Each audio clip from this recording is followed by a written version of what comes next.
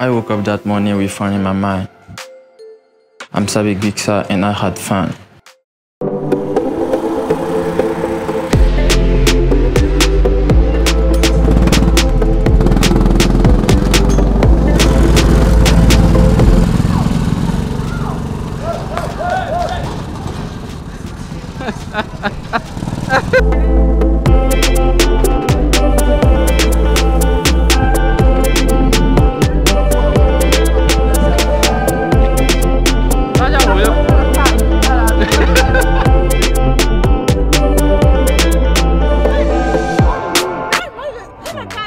Why would you call the guy Kelvin a Stonebwoy? Why have you It was actually Kelvin Boy.